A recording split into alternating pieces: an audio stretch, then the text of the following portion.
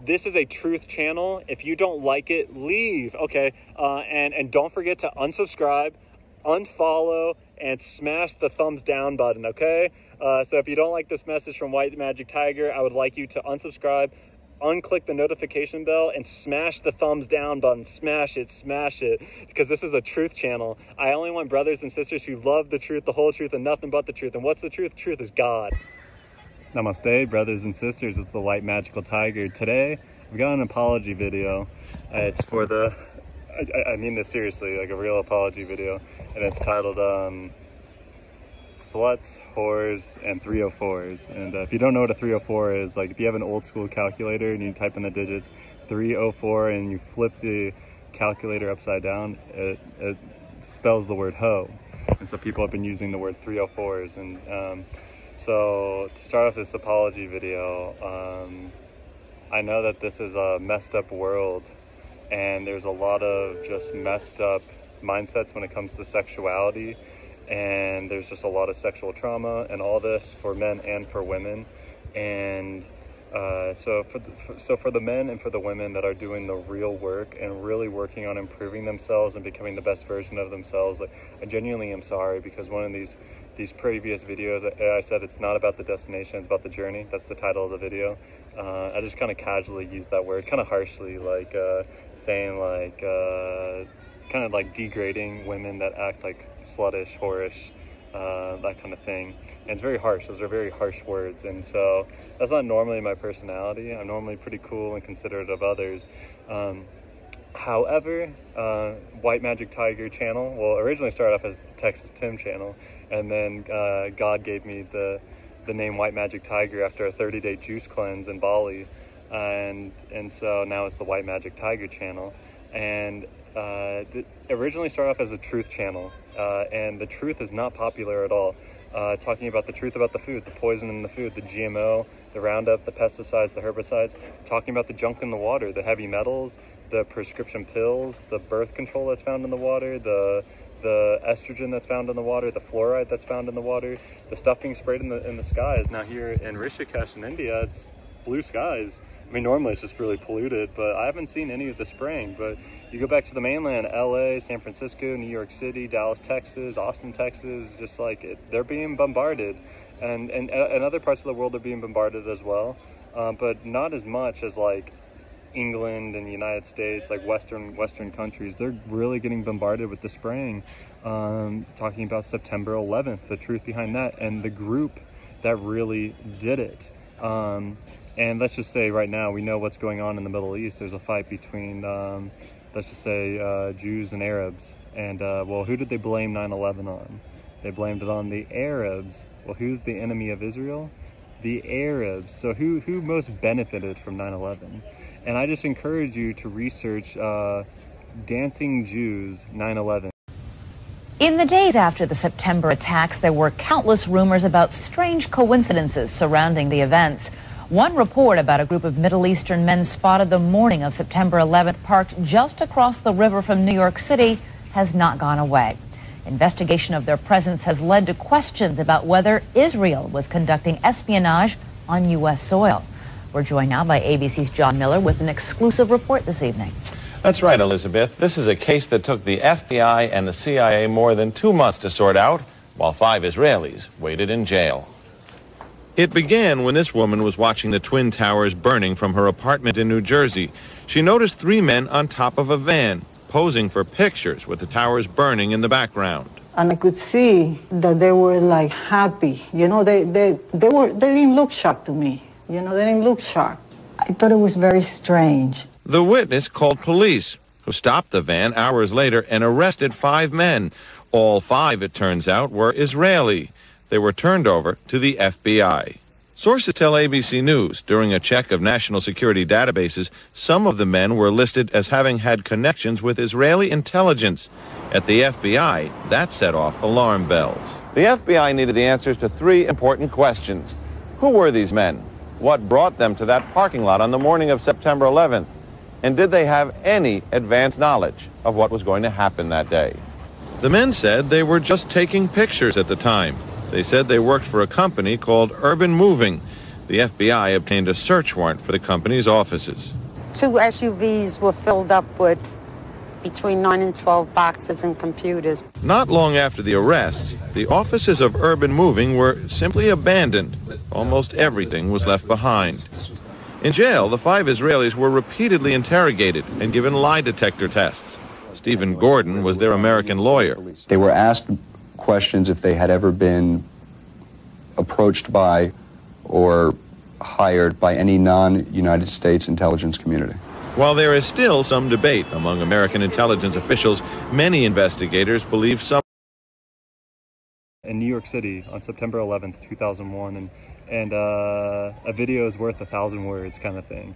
Um, so that's its whole rabbit hole as, in itself, and I encourage you to look up the biblical scripture uh, from the book of Revelation, chapter two, verse nine, where Jesus Christ says. Um, these Jews are not really Jews. Uh, it's a cover, it's a front. They're really Satanists. They really are devil worshippers. And so the conclusion I've come to is that there's genuinely, really good Jews. Like they, they love, they, they respect the Torah, they keep the commandments, they love God. Um, and then there's some that say they're Jews, but they're not. Behind closed doors, they're doing like uh, they're worshiping the devil. Like they're, they're, they're doing like human sacrifice and black magic and crazy stuff. My next guest was used also in worshiping the devil, participated in human sacrifice rituals, rituals and cannibalism. She says her family has been involved in rituals for generations. She is currently in extensive therapy, suffers from multiple personality disorder, meaning she's blocked out many of the terrifying and painful memories of her childhood. Meet Rachel, who is also in disguise to protect her identity. You come from generations of ritualistic uh, abuse? Um, yes, my family has an extensive family tree, and they keep track of who's been involved and who hasn't been involved. And it's gone back to like 1700. And so you were right. I was born into a family that believes in this. And, and this is a this is does everyone else think it's a nice Jewish family? From the outside, you appear to be a nice Jewish girl. Definitely. And you all are worshiping the devil inside the home? Right. There's other Jewish families across the country. It's not just my own family. Really? And so who knows about it? Lots of people now. um, I talked to a police detective in the Chicago area, and several of my friends know, and I've spoke publicly before. And so when you were brought up in this this kind of evilness, did you just think it was normal? Um, I've blocked out a lot of the memories I had um, because of my multiple personality disorder. But yes, I mean, it's like if you grow up with something, you think it's normal. Mm-hmm. I always thought. So, what kinds of things? You don't have to give us the gory details, but what kinds of things went on in the family? Um, well, there would be rituals in which babies would be sacrificed, and you would have to, you know. Whose babies? Um, there were people who um, bred babies in our family. No one would know about it. A lot of people were overweight, so you couldn't tell if they were pregnant or not. Or they would supposedly go away for a while and then come back. The other thing I want to point out, not all Jewish people sacrifice babies. I mean, no, no. It's not a very we kind of know thing. That. I just want to point that out. This is the first time I heard of any Jewish people sacrificing babies. But anyway, so yeah, you witnessed the sacrifice. Right. Um, when I was very young, I was forced to participate in that, in which I had to sacrifice an infant. And the the purpose of sacrifice is to what? Is to bring you what? What are you sacrificing for? For power. Uh huh. Power. And so, were you you were ever used? Were you ever used yourself? Um, I was molested. I was raped several times. Mm-hmm. Um, and what's your mother doing? Um, she's in all of this. What's her role in all of this? What is? I'm not exactly what her role is. I haven't, you know, recovered all of my memories, but her family was extremely involved.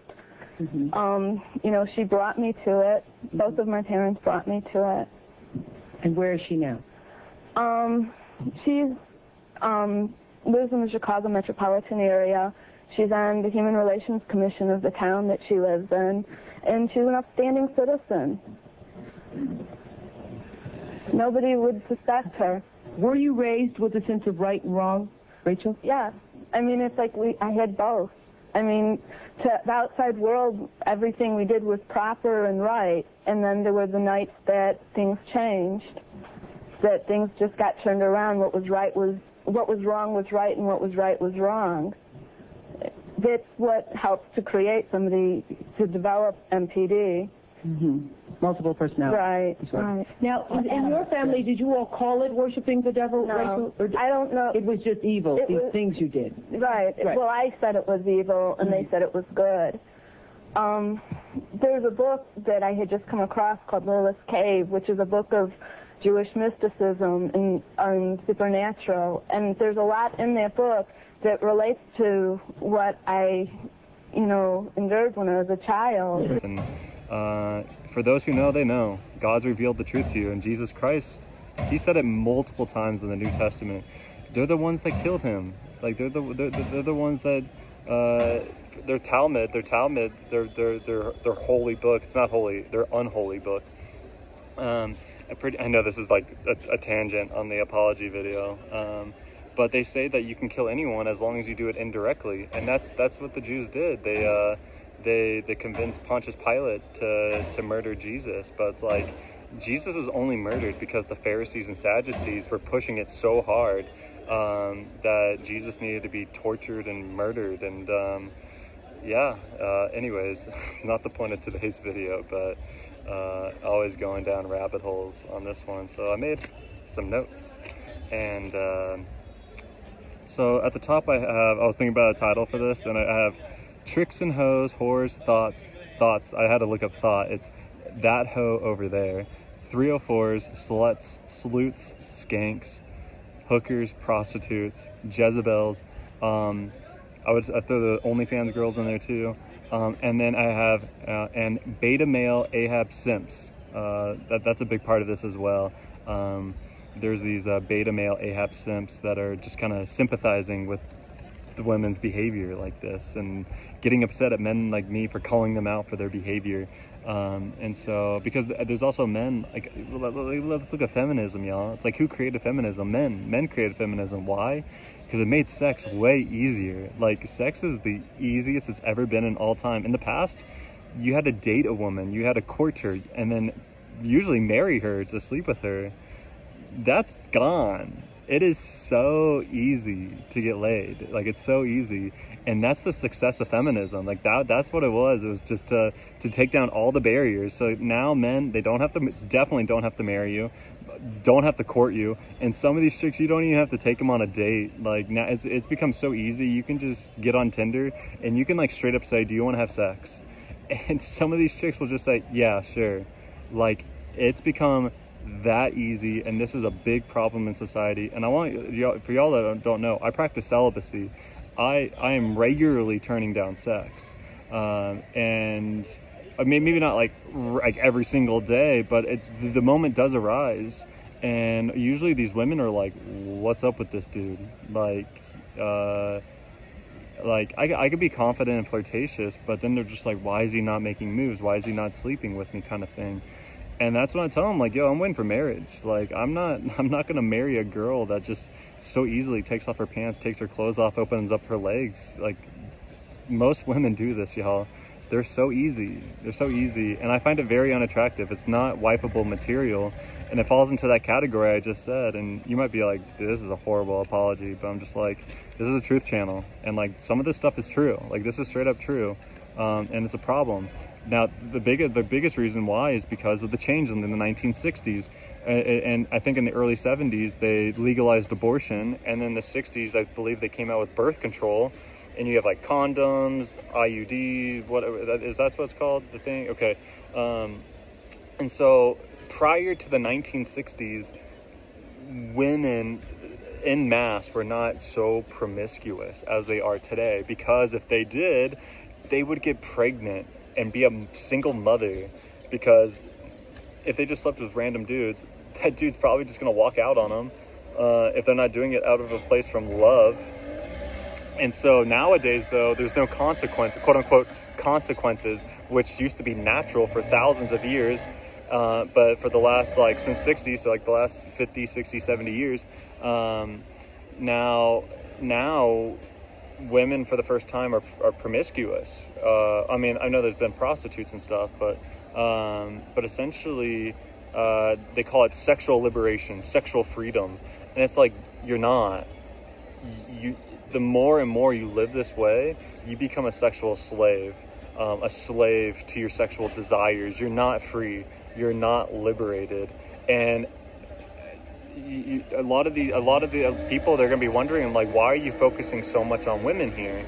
It's because sex for men and for women is, is two different things. Um, women it's very easy. It's very easy for them. There's they could they could go out today and and find somebody. Uh, the challenge for them is finding a high quality man this is the Standard Female Delusion Chart. It is a tool for bringing balance back to the dating market. The Standard Female Delusion Chart is replacing the old chart because there was some confusion. Here's how the chart works. We all know that only a few people are very dumb, most people are average, and a few people are very smart. This creates a shape called a bell curve. It works the same way with other traits like height and attractiveness. Most people are average.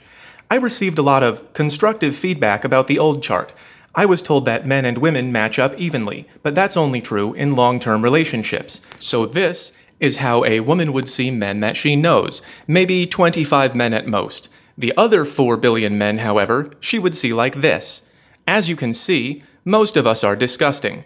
And if you are a male 3 or below, you're this cute little ghost. So, generally speaking, men rate women on a bell curve, and women rate men on a Jezebel curve. And of course, it's true that some men underrate women, but other men overrate women, and they are people, so it balances out. On the other hand, women rate men they do not know as 80% garbage. This model is supported by data from every dating app, by going outside and listening to women when they talk, it depends on what he looks like, probably. Based on someone's personality, you could really hit it off with someone, but attractiveness is a big player of it. That sounded very shallow. And by being attractive. If you are a man who has moved past this line, you'll know what I mean. The standard female delusion chart can help keep women out of the sleeper zone, where they languish in emotional neglect, waiting for commitment that was never coming. It works by correcting ludicrous female perceptions, like this. Let's go through the chart piece by piece. You can pause on each one to let them sink in. This is how men see women, normal. This is how women see men, brutal. This is how women see themselves, delusional. And this is how women rate other women publicly, everyone's a 10, and privately. I'll go into more detail in an upcoming video on YouTube. For now, feel free to take a screenshot and use the chart yourself. Just make sure to credit me or I will sue. I'm also creating a comprehensive rating system to help everyone know their level.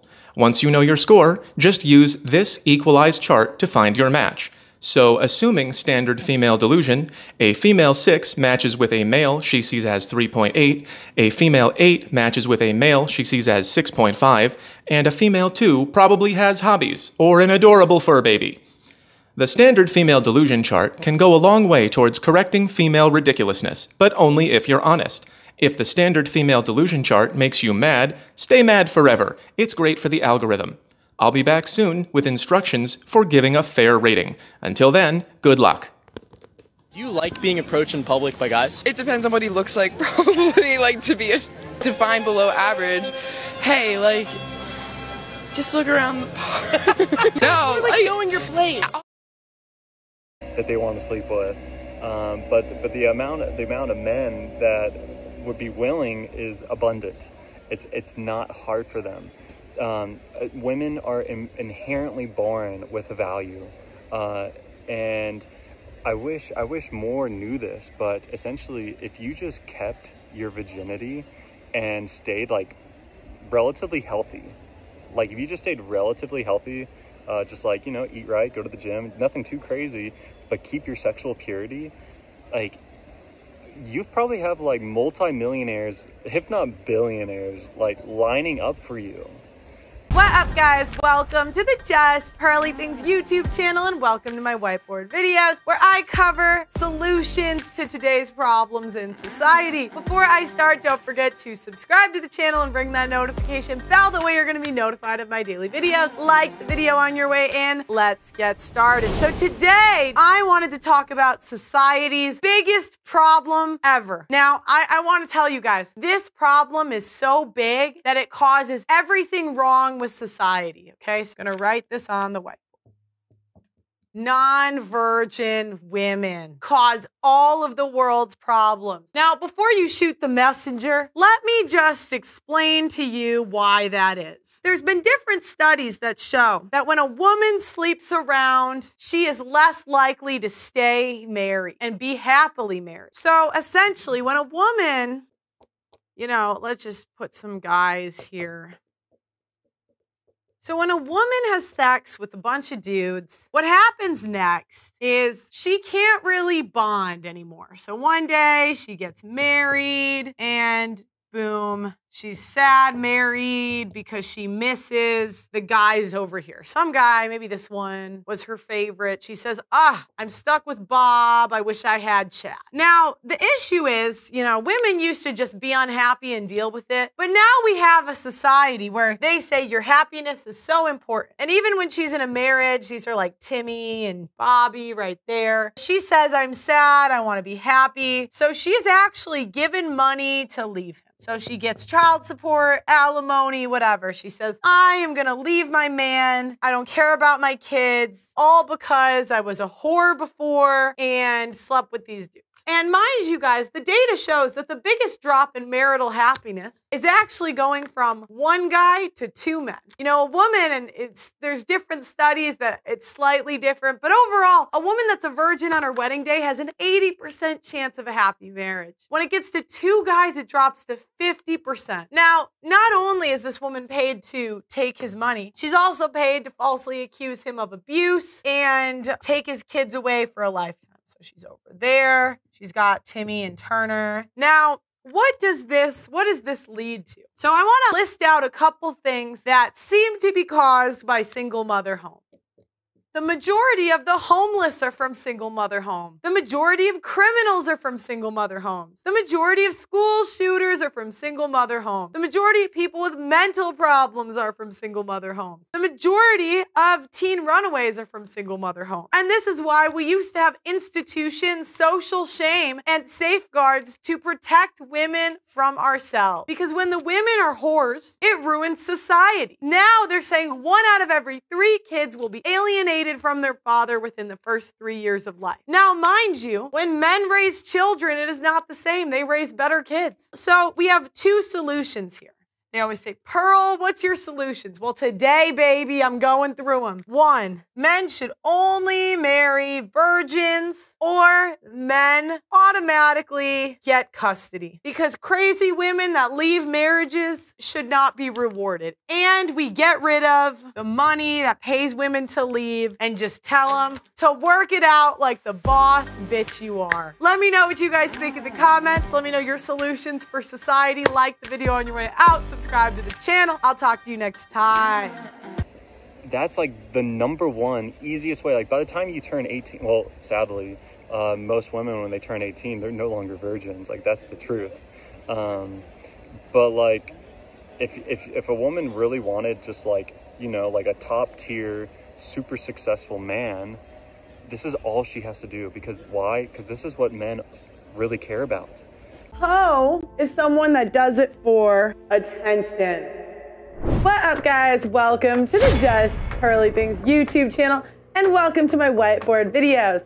Today, I am going to go over the hierarchy of whoredom. Before I start, don't forget to subscribe to the channel and ring that notification bell. That way you're gonna be notified of my daily videos. So, this last week, I decided that I wanted to know more about whores, sluts, hoes, nice ladies, and oh, I forgot to add one. Sorry, guys. Ladies and wifey material. So this week we did a show where we really wanted to define the terms because a lot of men out there cannot define what's a whore, what's a slut, what's a hoe. A lot of the women, it's like, what is this? And I'd like to tell you guys, in 2023, if we go by a historical point of view, 95% of women would be whores. However, we are in 2023, so we got to adapt to the times. So I, I, surveyed some men to see what they thought. The definition that we came up with was a whore is someone that has sex for money or does slutty things for money. A slut is someone who does it for sex, and a hoe is someone that does it for attention. So we went through some scenarios as a class. A whore is an OnlyFans worker, a stripper, a hooker, or an escort. I think I spelled escort wrong, wrong, but never mind that. A slut is a woman cheats on her boyfriend one night stands because what's she doing it for? Next, we have a hoe. Now, this is a girl, ass pics on the gram, okay, or 15 plus bodies. Now, okay, guys, there's been a lot of dispute. Some guys are saying, no, it's way less than that. I I just ask the people. I just I just report the news. Let me know if there's anything else we should add to the top three. But that's what we got for now. So then we have a lady. So a lady can have roughly five to 14 bodies, okay? But she cannot have gotten these through one night stands. So no one night stands. You can only have gotten the bodies you maybe you got ghosted, took an L, but you could still be a lady. You have five to 14 bodies. Now let's define a nice lady. Zero to five bodies is a nice lady. And wifey is a virgin, is wife material. So now that we have some definitions, what I wanted to do was I wanted to make a hierarchy of whoredom. Now, I'm just repeating back to you what the markets. Don't shoot the messenger, okay, ladies? All right, so here we have the least desirable. Here we have the most desirable and most rare. So, what is going to go on the least desirable level in terms of sluttiness? This is the hierarchy of whoredom. All right, so at the bottom, we have hookers. Now, there's many names for these ladies hookers, um, escort, escorts, um, streetwalkers, nightwalkers. But at the end of the day, they're selling for money. We have porn stars. Now, because they're not just straight selling sex, they have less partners. But porn stars are above hookers. Only fans. Ladies, you're not at the bottom, but you're not far from it. You're just above hookers, porn stars, then only fans. Next, we have strippers. Now, a stripper can go on to live a normal life because there's no maybe she didn't sell sex for money. I mean, we all know what goes on in the strip clubs, but maybe she just stripped. So then, now this is the most disputed one. I asked the men, what's worse? Would you rather take a single mother or a woman with a high body count? Now, we all know that there's single mothers with high body count. Like, we all know, but I, I said you have to pick one. And the men picked, drum roll please, high body count. If you sleep with too many people, you are barely better than a stripper. Now, what number this is is very disputed across the board. Um, I, I've heard numbers like around 25 it switches. They'd rather take a single mom. I've had some guys say 10. I've had some guys say 30. I don't know when it switches exactly for men, but let's just say somewhere between 15 to 30, they'll take the kid over the bodies. Don't shoot the messenger. Now remember, if you have both, you're lower. But if you just have a kid and not the body count, you're slightly above the horse, but not by much. I mean, hoes. These are hoes. Maybe sluts. Maybe sluts. The hoes and the sluts. And remember, level of ladies are mid body count. So again, I've had some dispute, but what I've gotten is like five to like 15 roughly. Men will take that over the kid but it switches around there. Then we have low body count, which nowadays is like under 10, under 5. It, again, please don't shoot the messenger. I'm just repeating back what I've been told. And at the top, virgins. This is the hierarchy of whoredom from least slutty. Um, let me know if there's anything I forgot, guys. You know, I love giving these lessons to you. Uh, and I have right here on this list, like what, what do men want and what do women want? Um, so I'll just start going through the list and then we'll, we'll catch up at that point. Okay. Um, okay. I have a virtuous woman seeking Christ's forgiveness. Okay. So that's like getting back to that, that point in the beginning where realizing that like we kind of grew up in like a messed up world. And I think uh, those that have like realized they've made mistakes. Uh, and so there's, there's women that have like actually seeked Christ's forgiveness and, and, and healing, sexual healing of their womb and all this. Um, and that that's beautiful. I definitely uh, um, commend that. Commend that. I think that I think that's beautiful. I wish uh, I con- congrats on going on that journey and and and, and um, saving yourself and, and, purifying yourself and healing yourself and um, learning from your mistakes. And hopefully, uh, you can inspire other women and hopefully inspire the younger generation to not make the same mistakes that you've made. And a, a big part of humbling yourself is admitting, like, yeah, I made a mistake, um, and just learning from that. Learning from that, like it's. Uh, it's just learning from our failures. I've made mistakes and failures as well, but can we admit it? I can gladly admit mine. Um, and the best thing to do is for the youth is to teach them, be like, hey, I messed up. Like when it comes to pornography, I tell young men all the time, like, don't get into it. Like it will rob you of your childhood, of your teenage years, of your young adulthood. Don't get into it. And and, and, and that's hopefully these young men can learn from my mistakes and not waste their time and their energy and get into a deep depression and a rut. And I hope women that have gone down this 304 route uh, and learned that it's not the way, that they can tell these younger women, like, hey, don't do this. Like, feminism is a lie. She gets up and she says, Patrick, this is very hard for me to say this. Mm-hmm. And let me tell you why it's very hard. I said, What's that? She says, Ever since in high school, I wanted to prove to men that I can beat them. So when I graduated high school and college, I opened up my salon. We do very well. I've made millions of dollars. My people and my work uh, that, work at the salon, they do very well for themselves. I drive a nice car. I have a nice house. I have money. I have millions. I don't worry about any of that stuff. You know what decision I made last night? I said, What's that? She says, I want a husband. I no longer want to compete with men. Mm-hmm. I need them. And I'm like, What? She's saying this in front of 2,000 people with her sister sitting right next to her.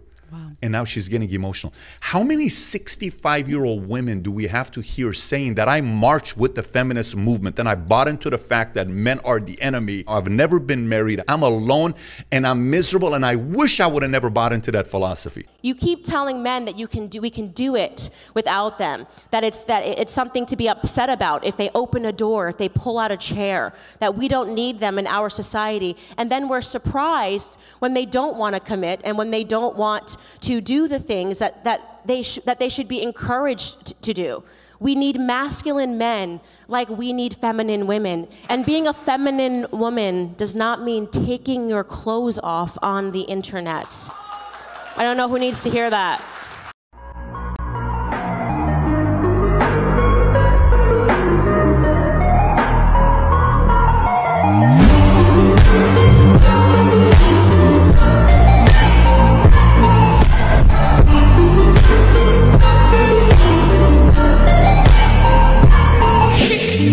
It's all sexual freedom liberation movement lie. It's not the path of happiness.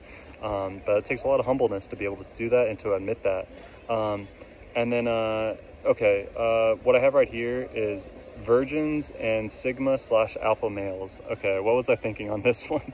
but essentially, um, for me personally, as a male, what I find most attractive in a woman is her sexual purity. Uh, and I think men in general, what they really want is they want someone that's youthful, sexually pure, and just simply kind. Like it's as simple as that. Like, are you kind? Uh, are you pure? Like, do you not have a huge body count with uh, sexual trauma, emotional baggage, all this stuff? And um, it, it's very simple what we want. And like I said, like if a girl played her card her cards right, by the time she was 18, she would perfect. like, but the, the problem is, it's so rare. Now that's a unicorn. That's a unicorn to find like in this day and age uh, an 18 year old in the West that's still virgin. That's pretty much a unicorn. It's very rare nowadays, and it's sad. It's like a depiction of like what's going on in the family. Uh, in the family, where are the fathers? Where are the fathers protecting their daughters? Like, wh- why are they not teaching them the right ways to live? And so then I have like a, a, Sigma alpha male, and so for those who don't know, the Sigma male is kind of like the lone wolf, um, and essentially the tiger. Really, the the name the name really suits me because tigers are solo; they're solo out in the jungle. But the alpha male is more like the lion. He's the he's the, the head of the pride, uh, and and kind of the, the leader of the pack or the the wolf in, in the front of the pack. And so you get the lone wolf and then the uh, the leader of the wolf pack kind of thing. And and both both are beautiful traits. And I feel like uh, real men on their path will fit into one of the two categories or maybe a blend of both. Um, okay, the next point I have is men age like fine wine and women age like milk. So wine takes a long time to get better. And uh, if you, uh, I've been doing a lot of research into this, watching these videos, but it seems across the board, most women prefer older men.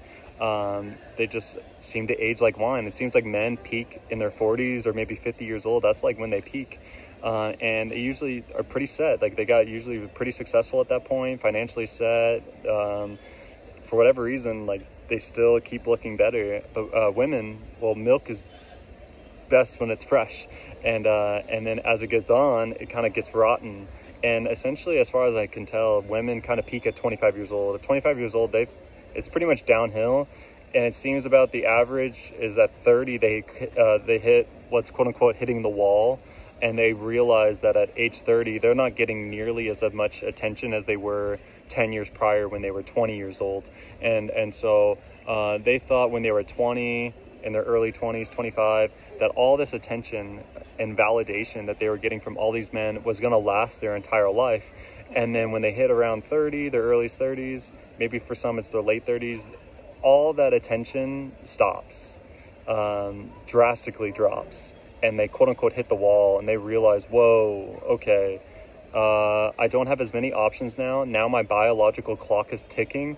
Um, my eggs are drying up I may not be able to have children unless I find a man. And usually they get kind of desperate and have to rush and they settle for one of these uh, beta male Ahab simps, um, one of these like quote unquote nice guys, because they spent their 20s, you know, like chasing the alphas, chasing the sigmas, or the quote unquote bad boys. I, I'm not condoning that. They, they usually have horrible morals and behavior, but for whatever reason, women are into that. They're they're into like cheaters and criminals and it's uh, strange. I don't get it.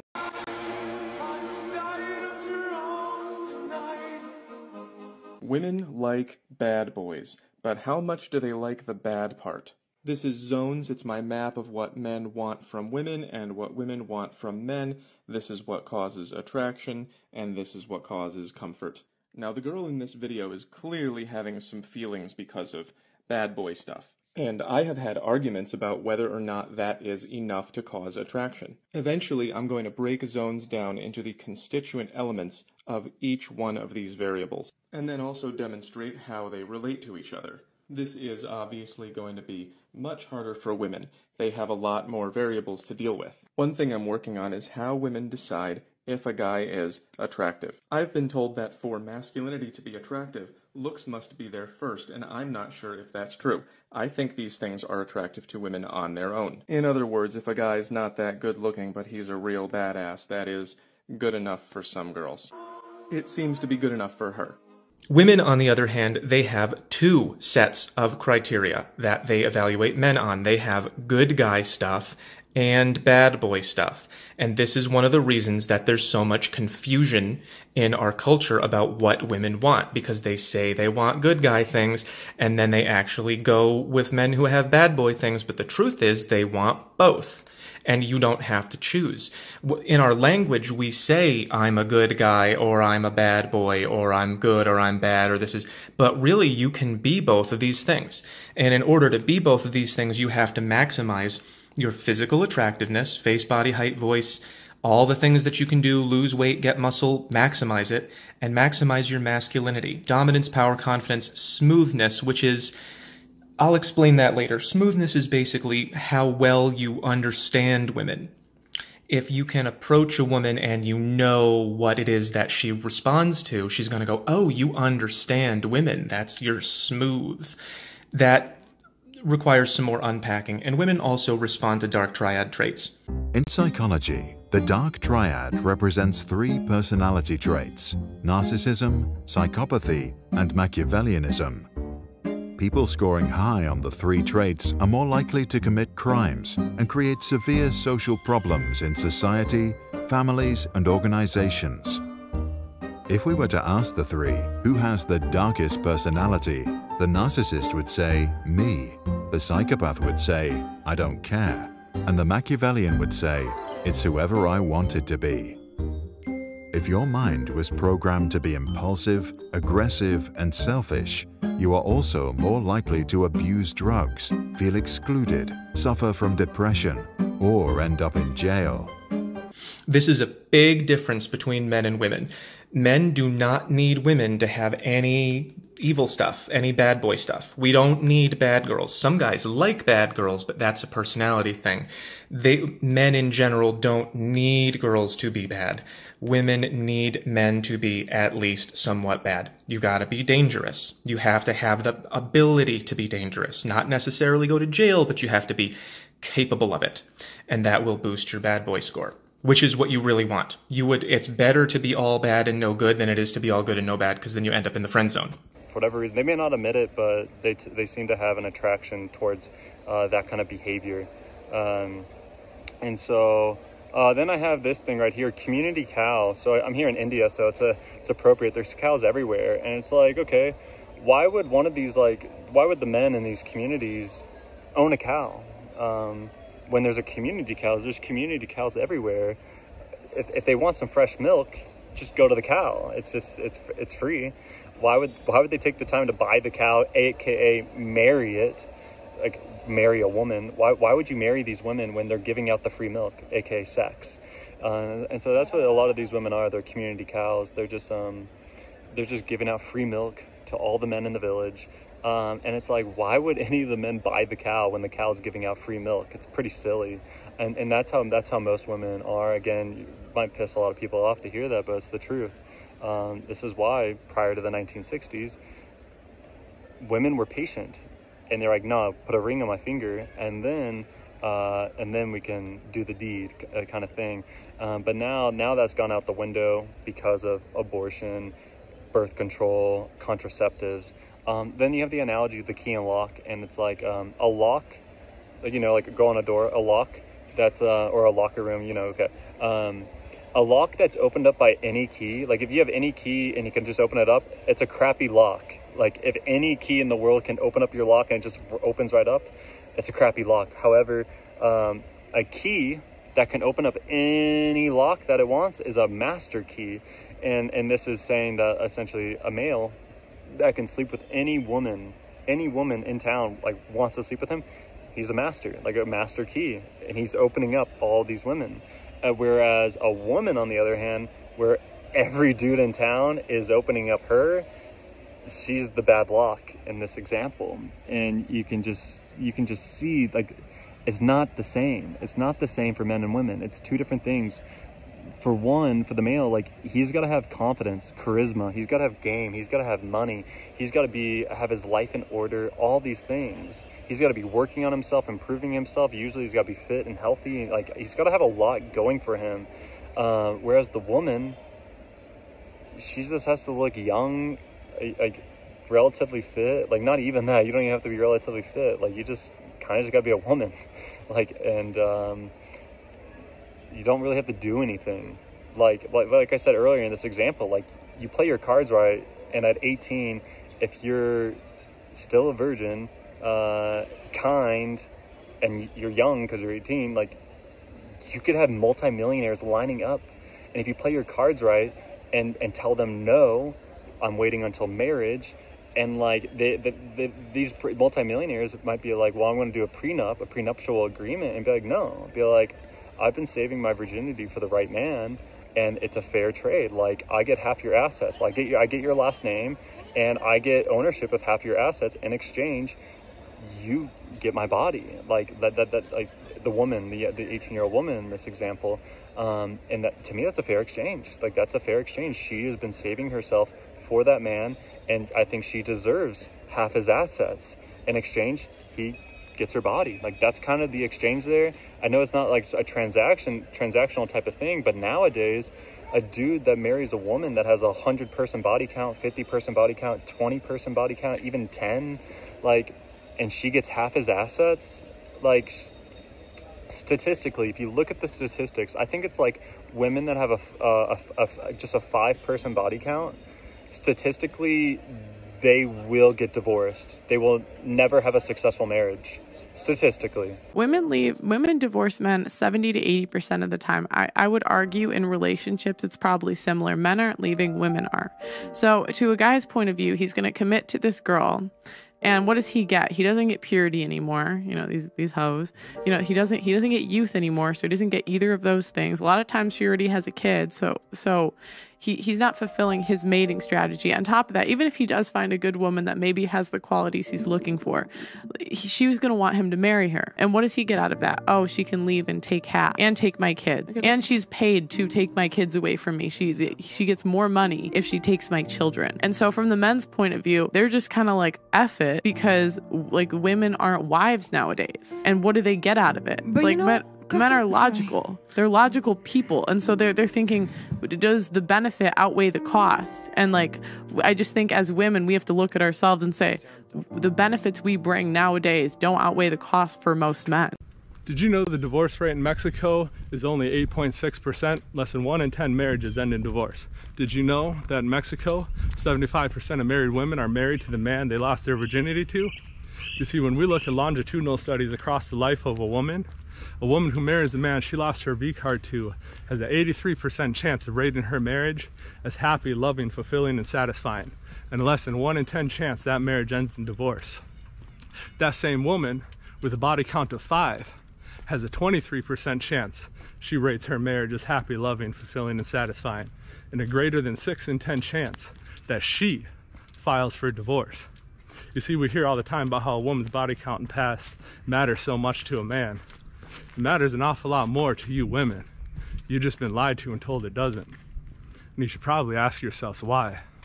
Women are now being blind to this reality. So they're thinking like, "Oh, I could be feminine and I could do all everything else, but if my body count is high, guys just have to accept that."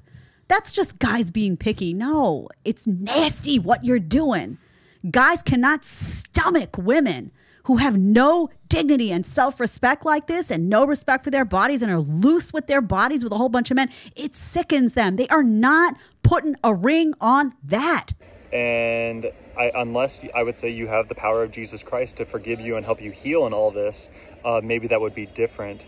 But most women are not on that path. They're not open. Into, they're not open to that. They're not willing to humble themselves and repent and, and, and, and realize that they've made mistakes and they've done wrong. So th- this next example is tape on the wall. So if you get some fresh tape and you stick it on the wall, it's going to stick really well. And then you, if you peel it off and you stick it a second time, it's still going to stick, but not as strong as the first time, but it'll still stick. Peel it off again and a third time. It's going to stick, but not as strong as the first time or second time. Well, you keep doing that, you get to 5, 10, 20, 30, 40, 50. I, seriously, it may sound like a lot, y'all, but I've been watching these videos on YouTube. Like, I would say most women are probably close to 50. Like, they're probably in their 30s the 50s for body counts. Um, it's, it's getting out of control. And they're like that piece of tape where it's like, you take a piece of tape and put it on the wall and you tear it off and you put it on 50 times, it's not going to stick. By number 10, 20, 30, 40, 50, it's not going to have the same durability and stickiness as that first one, that first one being a virgin. I do believe that female body count is really important to men. And I think if I were a guy, I would care about it as well. Here's why I think that women who, I think that it's a sign of disrespect to yourself to not treat sex as something that has value. And I think that guys still value purity in women. I don't think they have to be virgins, but I think they value women who have been hesitant to put their bodies out there with everyone. In other words, they don't bed hop. Maybe they had a couple of partners, a few partners, but it was people that they really cared about. It was committed relationships, there was monogamy involved. It was a sign of self respect that those women had because they weren't willing to just sleep with anyone. I watch these videos of girls now, young women, early 20s, and you'll ask them, What's your body count? And they'll say, Oh, I don't know, 10, 13, 15. That's gross to me as a female. Do you think men's body counts make a difference? I know a lot of men who have high body counts and they come off as very hurt. And it kind of becomes hard for him to have a new experience because every experience he has, he correlates to a past experience. I've seen that turn a lot of men bitter. Mm. So I honestly think body count matters with a man as well. When a man has slept with too many women, to me, he'd be so hurt because he's seen the mortality in women just deplete from his eyes with every woman he sleeps with. No, you know what? That's actually a very good point because I do know a couple guys like that. Like they'll pretty much sleep with anything walking. You know what I mean? Mhm. And at some point, you do lose like you lose the respect for women. Scarcity and value are the same thing. Why is gold valuable? Because it's hard to find gold. If there was gold all over the streets, it was on every street corner, wouldn't have a value, right? Mm-hmm. So if you're a girl that everyone's had, your value is going to be destroyed. Your value as a woman comes from the fact that people want you and cannot have you. Mm-hmm. Your value does not come from the fact that everyone wants you and everyone's had you. Mm-hmm. So the, the uh, number one thing a man's looking for is a woman who can stand next to him that every single man wants and not a single man can say, I've had. If you're a woman and you just keep on getting pumped and dumped by dude after dude after dude, you're like a jaded Vietnam War vet. The first three people you kill, you're like, oh man, I feel terrible. But after you kill 50 people, you're the guy with the M60 and the helicopter just like mowing people Blank down. staring. Yeah. Just- that's just- what you do. Exactly. And so what that's what's happened right now is that these chicks are jaded like vets of like the horror war you know? And it's so funny because we have this problem now where like all these soy boys are in control of all these social media platforms except for rumble and they are pushing this agenda onto these girls. Uh, it will stick very strong and it's going to be hard to peel that off that first time. It's going to hurt and, and, and she's going to have emotional trauma emotional baggage usually sexually transmitted demons and diseases uh, there's also this study i don't have it written down here as well but essentially they say that uh, when a man uh, ejaculates inside of a woman the sperm goes to her brain and if i remember correctly like i think it stays in her brain for life Did you know that every time a woman has a one-night stand, a part of her sexual partner lives inside her forever? Discover the mind-blowing truth about male DNA in women and how it's shaping our understanding of intimacy, love, and the human brain. Hello and welcome to our channel, where we explore topics that are not for the faint-hearted. Today, we will be discussing a fascinating yet controversial topic about male DNA living forever in women after making love. Yes, you heard it right. I know this might sound bizarre, but research has shown that during sexual intercourse, male DNA can enter and remain inside the female body, even after the man is long gone. For years, scientists believed that once a woman was impregnated, the male DNA would disappear after the baby was born. However, recent research has shown that male DNA can be found in a woman's blood, brain, and other organs long after the baby is born. In fact, male DNA has been found in women who have never given birth, leading scientists to conclude that intercourse is the primary mode of transmission. Now, let's get into the nitty-gritty. During mating, semen contains sperm cells that carry male DNA, which can enter a woman's reproductive system and potentially fertilize an egg. However, even if the sperm cells do not fertilize the egg, male DNA can still remain inside a woman's body for years. In fact, a study published in PLOS ONE found that male DNA can be found in a woman's brain for decades after intercourse. Microchimerism is the term used to describe this presence of a small number of cells in an individual's body that originated from a different individual. Another fascinating aspect of male DNA living forever in women is the potential for accumulation. In other words, the more partners a woman has, the more male DNA could potentially live on inside her body. The PLOS ONE study found that women who had multiple sexual partners had a higher incidence of male DNA in their brains compared to those who had only one sexual partner. The researchers hypothesized that this could be due to male DNA from previous partners residing in the body and being transferred to the brain during subsequent sexual encounters. like she will forever for the rest of her life have a like a biological connection to that man she'll have a spiritual soul tie to that man and that's why it's like i've said on my channel like i think it's i, I think i'd be a simp to marry any woman that has a body count higher than zero uh, because she'll most likely have these soul ties and this emotional baggage from all the men she slept with. And personally i don't want to deal with that. If she's going to get my millions of dollars now i may not be there at this moment but i would not be surprised in the future just because my dedication to success that i will accumulate a lot of uh, financial assets. And i would gladly share that with my god-loving wife. Um, if she's sexually pure but if she's got a racked up a huge body count it's to be hard for me to trust her uh, just because you know you look at the statistics and when it when it gets to like five like a five person body count which is not a lot for this na- day and age statistically the marriage will end in divorce and she will get half of the the assets and so i would have to sign a prenuptial agreement. Like just like i i would have to protect myself uh, because the court system is uh, slanted against men. Uh, and then you look at um, the, the statistics as well for um, because a lot of this when it when it goes to divorce uh, usually the women get the children. And that's just how it is. That's just what it is. You look into it uh, when when a, a family gets divorced uh, the court usually almost always sides with the female. And uh, a lot of these statistics like you look at prisons i heard it was like something like 75% of uh, people in jail are from single mother homes. Uh, like most crimes like criminals like well it, it, they were raised in single mother homes like the father wasn't there the father wasn't there to guide them and just like uh like a lot of like mental health like people that have mental health issues like a lot of problems come from the father not being in the in the picture and it's really sad.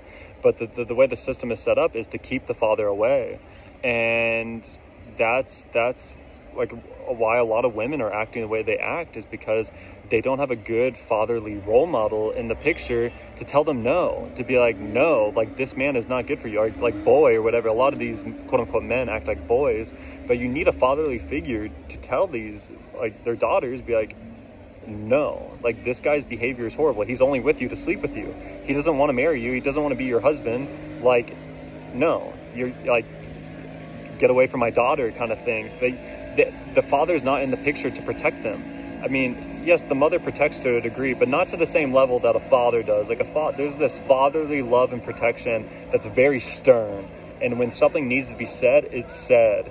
And it slices and it, it's going to hurt her feelings but if it's coming from the father it's usually for the right reasons and it's to protect her and and and, and sometimes uh, she needs this. And I, and I, I heard an analogy the other day where it was like okay uh, this father was with his daughter and uh, and not even an analogy it was a story i was reading. And that essentially uh, the, the dad was telling her about like hey like if you sleep around and then one day you find a man that you're going to marry and you're out together and um, and then that her like fiance goes to the restroom and there's uh like three other men in the area that have like slept with the girl and they they follow the, the fiance to the bathroom and they start like laughing and joking like yo we all banged her first kind of thing. Like the dad was like do you think he's still going to marry you after learning about that? Because he was saying like men joke about that kind of stuff. Men joke about like who they've slept with kind of thing. And and and the, and the daughter in the scenario she was saying like it was a kind of a wake-up call that like um she she didn't want her future husband to have to go through something like that. The embarrassment of something like that that why like it's like it's, it's like why they say like body count doesn't matter but like you go around and it's like it's like women hide it or they lie about it a lot of them lie about their body counts or they try to hide it or they're like oh it doesn't matter No high value man desires a woman with a high body count. But how would they know about their high body count? a girl can lie. That's true. A man can They have, lie. they have certain symptoms. Do I give off that energy, high body count? You're asking the wrong question. Just be honest. Does it does it give that off, No comment. Brian? Oh, you're asking me. Yeah, You're I'm asking me. both of you. I don't think you have a high one, but I don't think you have a low one. What is either. high to you? How old are you? 21? Yeah. I don't think it's over 20. Is it over 20? No. How long have y'all been together? Three years. You guys know each other's body count. Yeah. What's yours? One. Is that correct? Are you sure it's one? Yeah. Only him? Yeah. You don't know how many boyfriends you had? No. No. what the hell? It's over 10. I don't know. Okay. Yeah. We're getting ma- married. There's no secrets. Yeah. However, we are going to get these young ladies' um, opinions on it. So, to start, guys, I actually want to start with what do you think the average body count is for, let's say, a 22 year old in today's day and age? Um, maybe like between 10 and 20. Wow, 10 and 20? I think so, yeah. Wow, okay. Uh, what do you think? I'd say about seven. Seven? Mm. I reckon 10 to 20 as well. Yeah. 10 to 20. Yeah. For a 22 year old. Well, it, 10. it, it depends on relationships as well, because if you've been in a long term relationship, then it's going to be lower than someone else who's always been single. I'm just. Do you guys know your friends' body counts? Do they tell you? I feel like you have, but I actually can't remember. I don't think it's a big thing that matters. How high would be too high of a body count for a girl to where you would think guys might reconsider getting married to them, right? Where you're like, maybe guys would be like, that's a little too high. What, can we get a number? I think more than 20. More than 20? Yeah, I think more than 20. Like about marriage, more than 20, yeah. What about you? I'd say like 100. woman that's pure, who hasn't had sex with a bunch of people, you know, body count under five, under 10. It's rarer than Bitcoin, I swear to God. It is a, it is a gem. That's what the Bible says in Proverbs 31. She is a, a jewel in the crown of a man's head.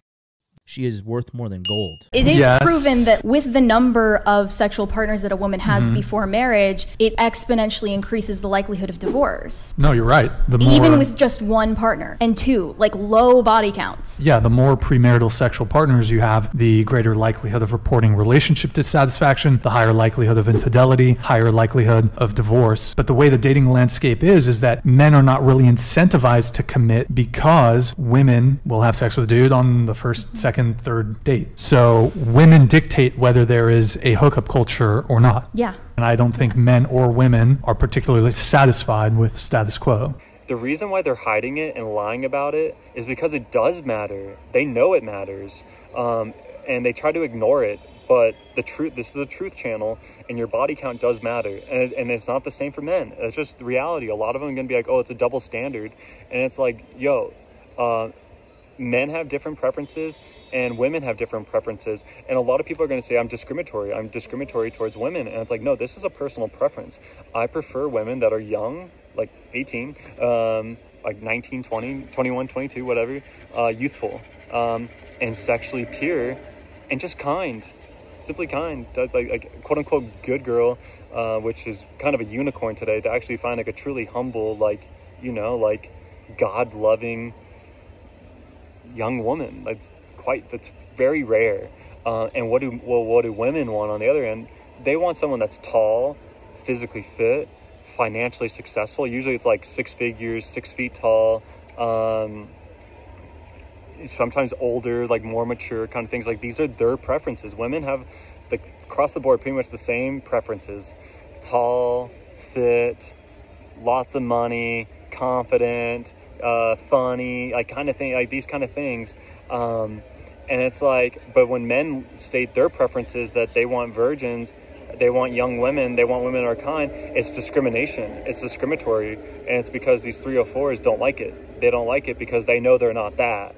And, uh, and so it's easier to just get upset at me uh, and just say like I'm I, I'm like misogynistic and blah blah blah and um, yeah I don't really care. Uh, this is a truth channel, and so I'm just gonna say the truth because young men need to hear it, young women need to hear it, middle-aged men and women, old men and women, everyone needs to hear it. Uh, uh, and I would say like most aren't gonna take it in because it's it's not what society says. It's easier to just be like ignore me and just be sexually free, get on your birth control, get on Tinder, go sleep with a bunch of dudes, and like learn the hard way.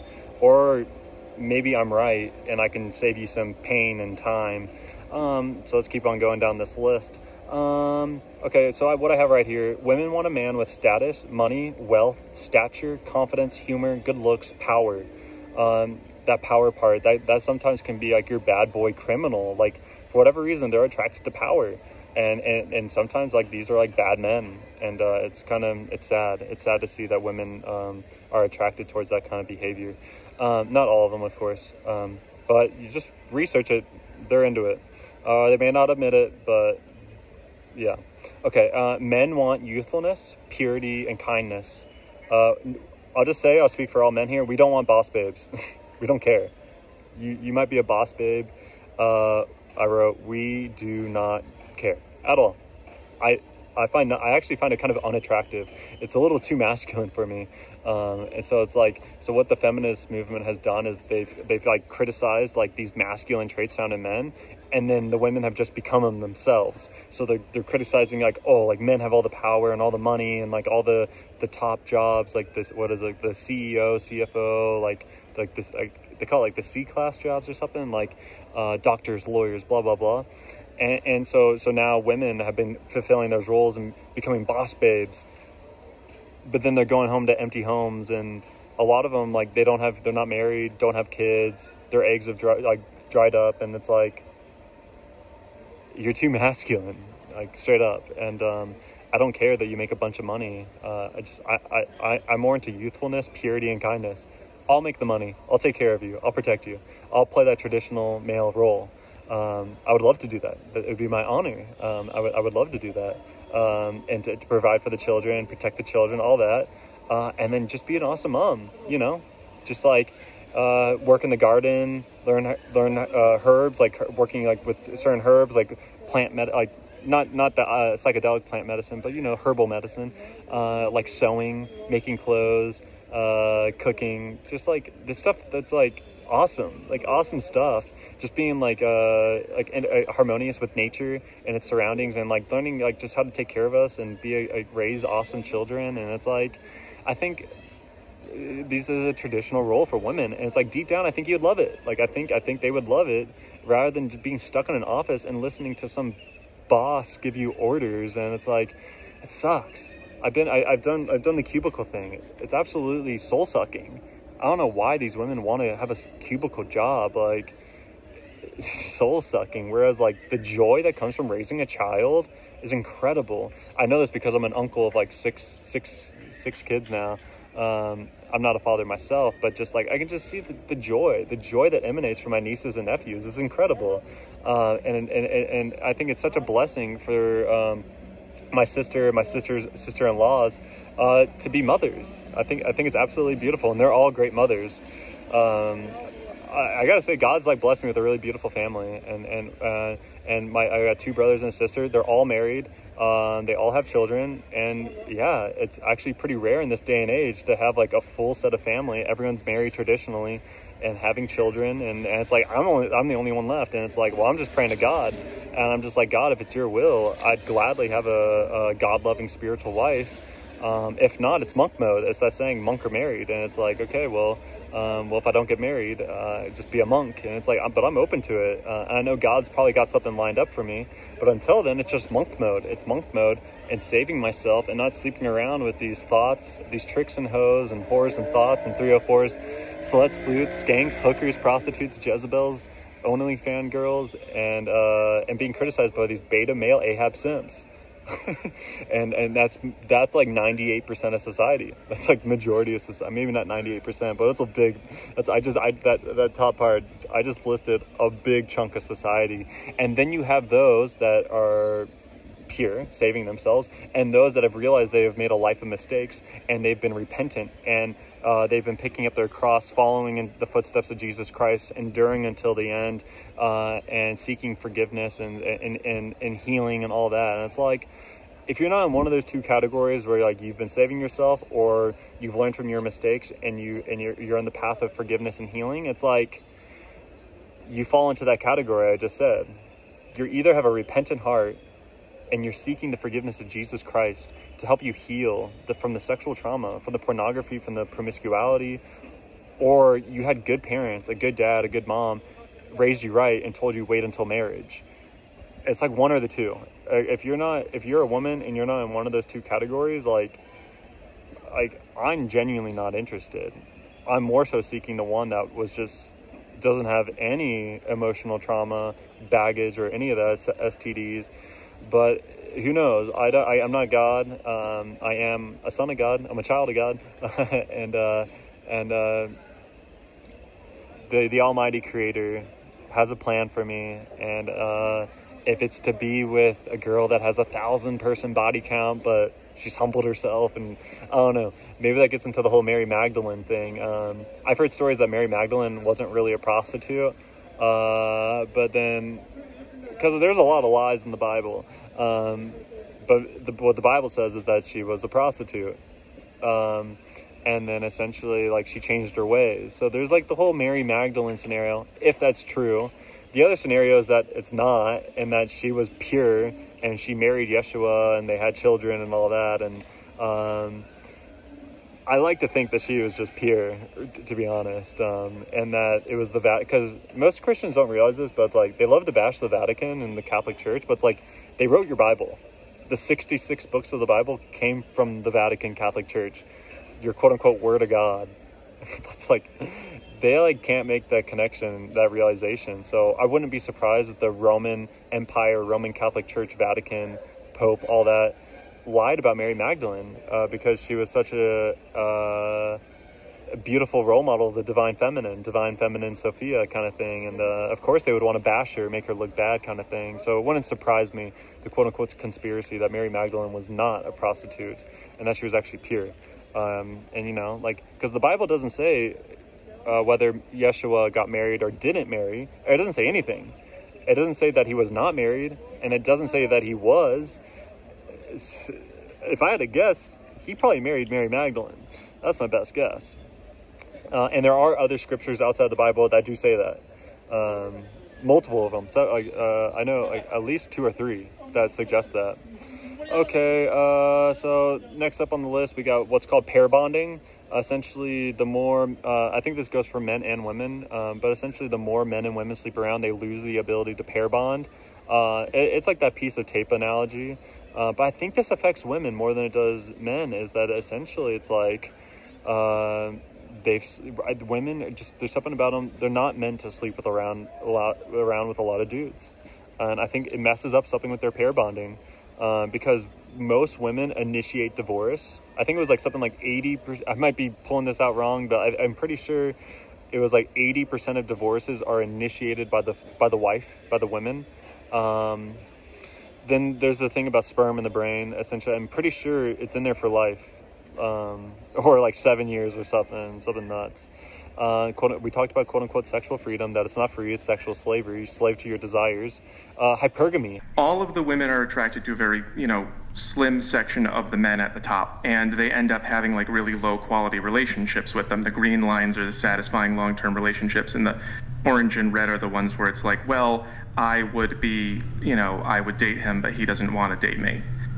And, um, I mean, I, I think that's what you're asking there is like the, the experience of women using dating apps and walking around in the world. It's like just a very small number of the guys at the top who get those kind of looks. Right. And w- can you explain the le- the left side of your chart there? The left one is n- n- the way that men see women in the world, is that they're very willing to have relationships directly across with women that they have never met before. Like a male five walking around, like on the subway, will look at a female five and go, oh, maybe she's the girl for me, right? But a female five does not do that with a male 5 mm-hmm. It's They're only going to be looking at Yeah. the top guys that if they haven't met them and don't know anything about them yet. So the dynamics of like you can only know so many men, right? The Nick, dynamics of attraction are heavily yeah. weighted towards just the most desirable guys. Word, word. D- and did you have something also like another drawing that's somewhat related to this one, but you said that there's a bottom portion of men that are invisible. Yeah, um, I just sort of keep this thing around. It's a little joke that I tell, where and this is there's a study that um, confirms this as well. Like they they watched women's brains on a brain scan, and they said that with really unattractive men, really low value men, that they saw them as not even there, that they didn't register people in their brains at all. Mm-hmm. So I've had this experience myself. I used to drive for Lyft and Uber, and you know, girls with really good jobs and getting a lot of male attention would get in the car, and they would talk to me like I was. They would talk to each other in the back seat like I was not there. They would say things that you would not say in front of a stranger. Gotcha. Gotcha. Okay, cool. Um, and I think uh, this is your cutoff here. So, um, any final thoughts? And we'd be glad to have you back some other time. But uh, Yeah, any, that'd be any final great. thoughts? Is there is there Um, one piece of drawing that you really want to show us? I think, you know, they someone paid to say, you know, to go watch this video. This will show you everything you need to know. I've got a 23 minute video on this about this on YouTube called Zones, and it is, you know, go read the comments. Everyone says it's been very enlightening for them. Um, it's just, you know, it's a quick look at what men and women value, and I'm hoping to use that to sort of fix the problems in the dating world as much as I can. Rock and roll, man. Well, hey, thank you for joining us. Uh, guys, go check out Hoe_math on YouTube, TikTok. Right. Women are hypergamous, which means they mate across and up dominance hierarchies. And so, if you're a male who's successful in a given hierarchy, the probability that you're going to have additional mating opportunities is exceptionally high. It's an unbelievably good predictor of that. that hypergamy is a very uncomfortable discussion. Yes, some it certainly is. That's a big one, though. It The- the, idea that it defines women's sexual choices by the fact Hmm. that they want bigger, bigger, better. Hmm. They Well, want what- someone who's okay. more more successful, Hmm. someone who's so, so, higher on the social ladder than what they're cu- accustomed to or what they have. Yeah, well, now. what women do is that, like mate choice is a very difficult problem. So how do you solve it? Well, here's how women solve it: throw the men in a ring, let them compete at whatever they're competing at. Assume that the man who wins is the best man. Marry him. It's a biological solution. It- It's a it would- it biological would- solution, would but it has a show that- cost. What is the cost? Well, the cost is polygamy. Now you're saying she's leaving because Yes. she's earning more. And no, I'm saying that she may be like, I'm not satisfied in this relationship because he has an issue with me earning more. And I don't want to stay in this dynamic. So from from what I've seen in the guys, you can maybe correct, like you can tell me what you've seen because you Mm. guys, Yeah, go you know, you I, I see the girl side. Yeah. I I found when girls move up in in mi- making money, they're around more men that mm-hmm. make more money than them. So I think.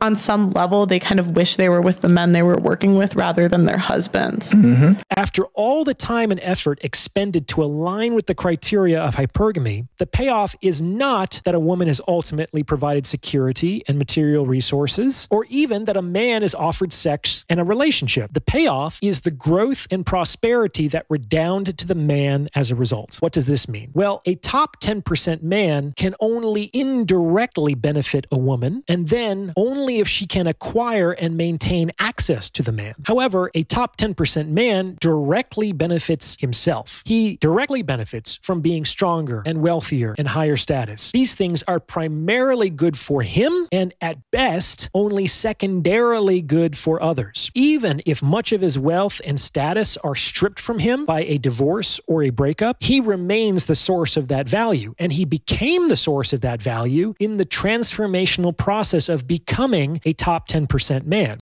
The concept of hypergamy is the act of dating up or marrying up your socioeconomic class. Hmm. Women do this. It's been stated that women will only be serious or date with men across or above them. Got you. Meaning, if a woman's making 50 grand, mm-hmm. she'll date a guy making 50 and all the way up. Agreed. She ain't dating some dude that's working the counter at McDonald's for $12 an hour.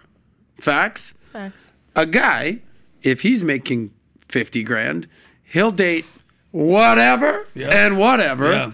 like no matter what. Hypergamy is a big thing, and it's this idea that women, um, they always stay at their level or upgrade. They never downgrade, and that essentially, like, uh, if they're if they're dating a dude that's making a hundred figures, essentially in the future they will never date another dude that makes less than a hundred figures, or a hundred figures, uh, six figures, a hundred thousand dollars, um, and essentially they just go up. They, they either stay at their level or go up, uh, and that and that's hypergamy. Or they, they they might be someone with a hundred, and then and they come across a dude that's making five hundred thousand, and they jump ship. They jump ship and they upgrade, and now they're at the five hundred thousand thing. And then like you know a millionaire comes by, jump ship, they go to the millionaire, and this is hypergamy where they will jump ship and upgrade. They will upgrade, and it's kind of like comes from this like survival thing. Now, obviously, not all women are like this, but the ones that are like you know, you know what I was saying at like the the THOTs, the the three hundred fours kind of thing, the Jezebels, they'll jump ship.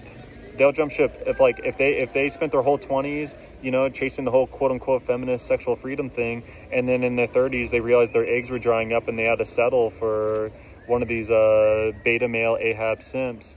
Um, they'll dump him. They'll dump him and from hypergamy and upgrade. They'll upgrade. Uh, they only got with him just to have a baby, uh, or because maybe he had some money and like was like, comfortable. They didn't really want to be with him, but their options that they had ten years prior, five years prior, are no longer there, uh, that, which they thought would be there forever. And so they had to settle, and they had to hurry up and before their eggs dried up, and uh, and now they're just kind of you know they're not really happy, and so uh, they'll jump ship, they'll leave him, or they'll just divorce him. If not, le like go for another dude. Uh, we talked about single mother homes and how, uh, and, and and I know it's a struggle. I know a lot of them, like a lot of dudes, are just like bad dads. There's a lot of bad dads there. They're they're, they're not really dads. I, I I've I've met men uh, where they take no responsibility. They're they're not in the picture, um, and yeah, that's horrible. And so, so I know it's a struggle to take care of a, a son or a daughter uh, as a single mother, and um, it, it's just it's a lot more difficult without that fatherly support, and um, and there's just it's just missing that divine masculine uh, to set the men straight to set the women straight, the young boys, the young girls straight, and be like, because that's the role of the father to be stern and be like, yo, no. I mean, I know a woman, a, a mom can do that too, but there's something about when the man, like, like a lion roars, like it's like whoa, like that was a, that was a roar, like it. And, and I've done, I can do it. I can do it. I don't. It takes a lot to get me to that point, uh, to really get me where it's like I gotta lay it down and say something and there's something that these men have like that's just like it can send chills through you. And, and and that's that's what the father brings to the table. Like if, if a kid their child messes up like there's something in the father can he just like sets that kid straight. Um, and i know the woman can do that too. The mom can do that too. Um, i think it just comes more naturally to the father uh, to be very stern and like uh, like respected. Like like it's like uh, the mother is more nurturing, loving, but the father brings in that like strict sternness where it's like, no, you don't do that. Um, and the kid remembers that. It becomes like ingrained, like, okay, I'm not going to do that again. That upset dad. I'm not going to upset him again. Okay. Uh, and it's coming from a place of love. It's a different way of fatherly love because they want to protect their children. They want their children to be right. They want them to be good, uh, like good humans. They like that's what they that's what they want for them deep down. Um, we get into abortion, STDs, essentially like a lot of women just like they're so promiscuous and then like they they quote unquote get pregnant they're just like oh just go to planned parenthood and kill the baby. It's demonic dude. Like and i and i know because back when i was an atheist and possessed uh i that was my game plan. I was like well she gets pregnant just like take plan b. If plan b doesn't work just go kill the baby. Go have an abortion. Um and now now having my spiritual awakening i'm like damn dude i was so messed up in the head. I, I can't believe i thought that. Stds i've talked about in the past how uh, sexually transmitted diseases are really uh, they start off in the spiritual realm as sexually transmitted demons. Starts up as like a possession. And so when we have sex outside of marriage where it's not a holy matrimony ordained by god it invites demons into the bedroom uh, because god is not ordaining it god's not okay with it and and it, it, breaks the commandment thou shalt not commit adultery and when we break any of the 10 commandments it opens a doorway into the demonic realm for possession and ultimately that possession happens so that we can learn from our mistakes and then of course jesus christ can deliver us of those demons and i've had my own deliverance uh, specifically with the the demoness jezebel the demoness lilith and the demon ahab uh, all sexually transmitted demons, um, and that Jesus Christ has the power to cast those out. Why? Because he holds the keys of hell and death, which when he was crucified, he went down to the pits of hell for three days. He obtained the keys of hell and death from Satan. And so now Jesus Christ is the king of heaven, the king of earth, and the king of hell. He's the king of all realms and dimensions. And that's why you can rebuke Satan, rebuke any demons. Everything in this existence has to bow down to the authority of Jesus Christ. That's just how this reality works any of these gods and goddesses, any of these deities, any of these angels, demons, everything in reality has to bow down and submit to Lord Jesus Christ because of what he did on the cross. That's just how it works. And so when you realize that and that he can forgive you of your sins and clear your bad karma and deliver you of these demons and sexually transmitted demons. It's very powerful. And essentially, to, to stay quote unquote like straight and clean, is you gotta John 14, 15. He says, "If you love me, keep my commandments." And so essentially, you gotta you gotta keep the commandments. And one of them is, "Thou shalt not commit adultery." And Jesus Christ says, if you even look at a woman with lust, uh, you've committed adultery in your heart and essentially, well, people are doing way beyond that. Um, they're they're they're acting it out, and so it's it's definitely inviting possession, uh, demonic possession. When we get into that, uh, we talked about hitting the wall. I got that written down. I think it's an accurate depiction of a natural phenomenon. Um, I think that women do reach a certain point in their life where their value, when I say value, I mean value in the eyes of men specifically, does decrease when they reach a certain age. In terms of fertility, obviously, you're older, you're not as attractive, but Also, like you've had more life experience, and I think the majority of men want a woman that hasn't had a lot of life experience because they want to build that life with you. When women are young, they think they have all the time in the world, right? You have all the time. You're 25, you're young, you look in the mirror, your skin is fresh, you feel confident, you go out, you walk down the street, and a whole bunch of guys whistling from the construction site. You're like, yeah, I got it, I got it. And then you're 42, you're exhausted, you're alone, and all of a sudden you're like, I did my whole life wrong. Right? It happens to a lot of women, and increasingly happening to women more and more and more because of this feminist ideology of postpone, postpone, freeze your eggs, you don't need a man. And then they realize, oh, I, but I want one at 45, and they don't look like they did at 25, and they don't have all those assets that they once had, and now the panic sets in. Hitting the wall typically starts in a woman's mind. It doesn't have a lot to do with her beauty, it starts with her mind. When she hits, say, 30, this is kind of when you start seeing it. If she's 30 years old and she's not married, she doesn't have kids, all of her girlfriends have kids, all of her girlfriends are married. She starts getting the societal pressure on her that I want kids, I want the husband, I want the house and the white picket fence and the dog. Yeah, I've been partying for the last 10 years. I've had a good time. So you see them on Tinder, you see them on Bumble, you see the buzzwords that I lived a good life, I partied a lot, now I'm ready to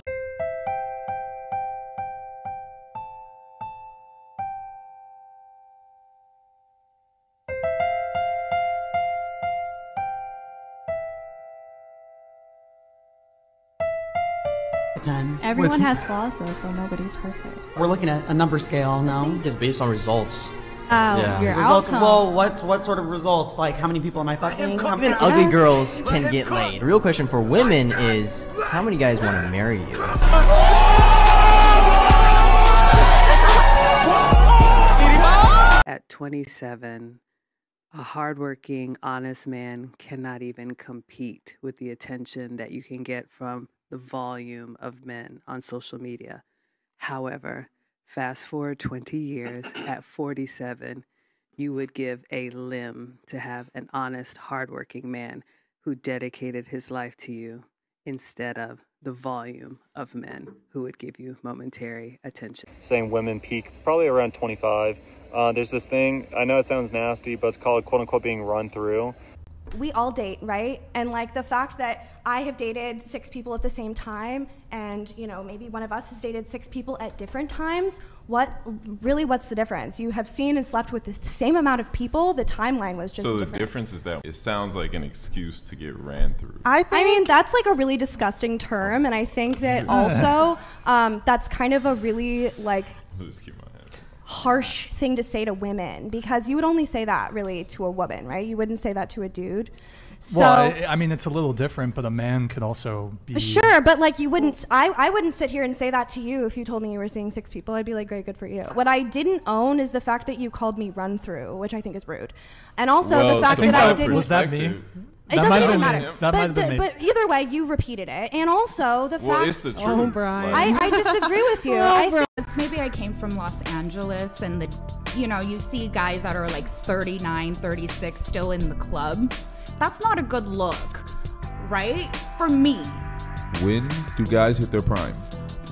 In oh. my humble opinion, I think at 40s and up, 40s and up with experience. when it comes to dating, what what men are attracted to?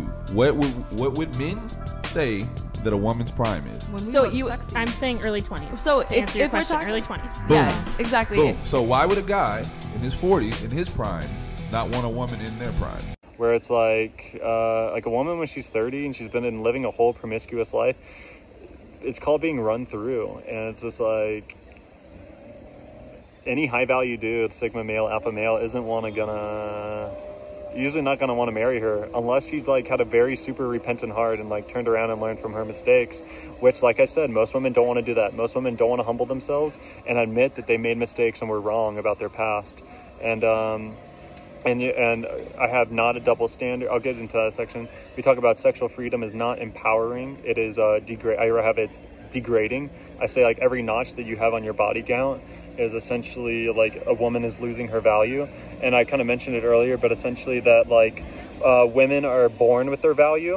Um, men have to earn it. Men have to earn their value. They have to prove themselves in this world. Whereas like 18 year old girls, like super high value. 18 year old male, boy, he's not high value.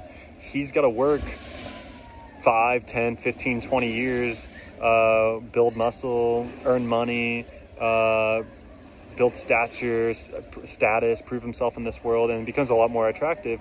Whereas the 18 year old female, she has value right there just because just because uh, that's just that's just the nature of reality um, and so I, I, I so if you, if you can see that you can see that women are born with their value and the challenge for them is to learn how to say no they got to say no uh, which which most are not doing uh, and, and then you look at well what do men really want and it's like it, it's like as I said in here is essentially the, essentially they want the purity they want kindness and youth that's really what they want. They don't want boss babes. They don't care that you make a bunch of money. We, we really don't. Whereas on the other hand, women want that in a man. They, they want that in a man. Women don't care so much about a male's sexual purity, his youthfulness, or got some angry monkeys here.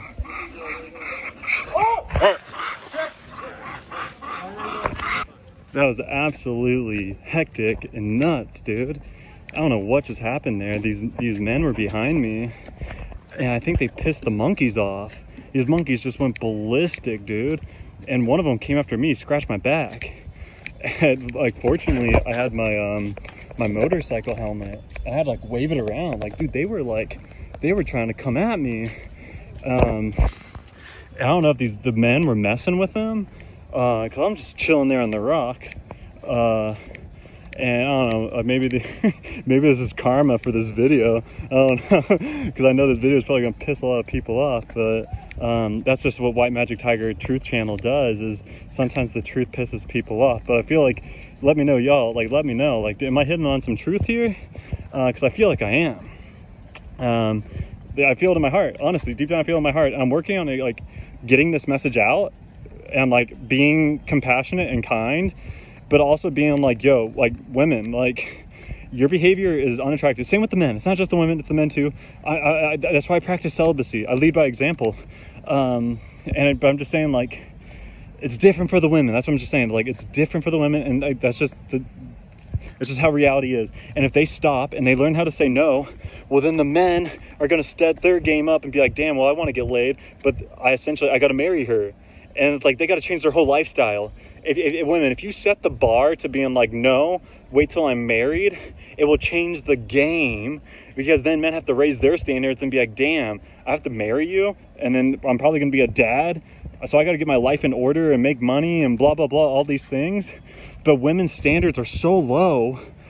That's why this is happening. I, I'm doing this out of a place of love because I want to help i want to make the world a better place but i want i want everyone to be happy. I want everyone to be happy but I just i'm just saying like the way things are right now it's it's not going in the best direction. Okay so let's wrap this up. Uh, i know this is super duper long video so uh, so i got um not a, this is not a double standard uh, I am not being discriminatory. This is just personal preference. These are my own personal preferences. And I know not a lot of men have these preferences is because sadly most men are these beta male, Ahab, cuck, uh, simps. Straight up. It's very rare to meet an alpha male, to meet a sigma male. It's very rare.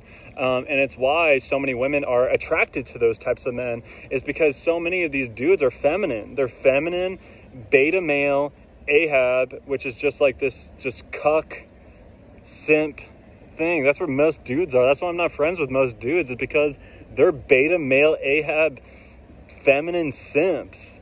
And it's like very rare do I meet another alpha male, another sigma male.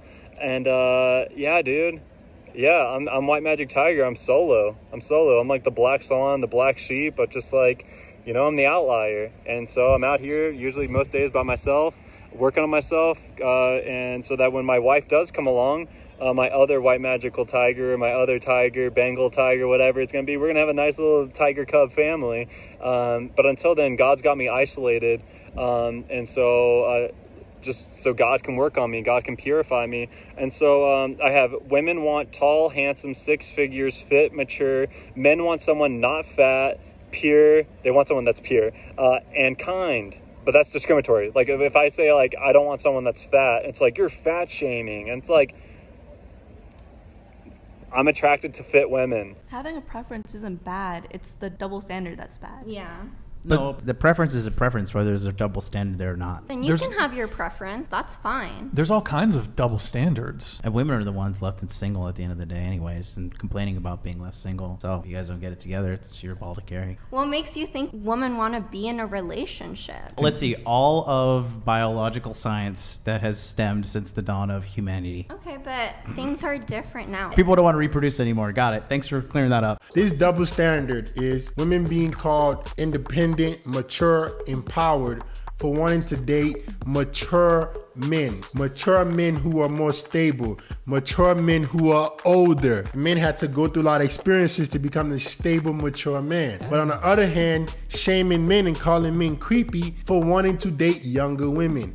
See, women value a man when he has made a name for himself, created value for himself. That tends to happen when he gets older. But men, we value youth and beauty. And that tends to happen when a woman is 18 to 25. This is when a woman is the most beautiful and has the most youth and has the most energy to be able to help him raise a family. You can't twist the rules to be in your favor whenever you want it. As long as a man is dating a woman who is of age 18 plus, it is okay for him to date women who are young. 80% of women on Hinge have their height limit set to six foot or above for men. That's less than 10 or 15% of men in the United States are above six foot. And height has zero predictive ability when it comes to looking at long term relationship. Imagine you saying to me, I only date girls who are a size four and a half shoe. I'd be like, why? This is anecdotal, but I feel as though girls hold more of an animus towards these dating apps. They say, look, if I'm going to get on Hinge, I'm going to get the best of the best. And if it doesn't work, no problems for me. I don't give a shit if I get one match, if I get 10 matches. I'm on this thing to not get f***ed over. If I'm going to get someone, they better be tall, they better be good looking, they better be this, this, and this. Men are supposed to be men, and they're supposed Have a to treat to their women. They have they have a part to play. It's in the Bible. Like, what's going on? Men want to be taken out and all this other stuff. Like, you a man. Like, be a man. Like, A man, uh, hold on, hold on. You want a man in the Bible, so that's a traditional man, correct? yeah, But modern day women aren't traditional themselves. Why Well- should he be traditional? it's the generation now. What's right? a traditional female? It's, it's the generation now. Modern day women are not traditional. Are any of you guys virgins?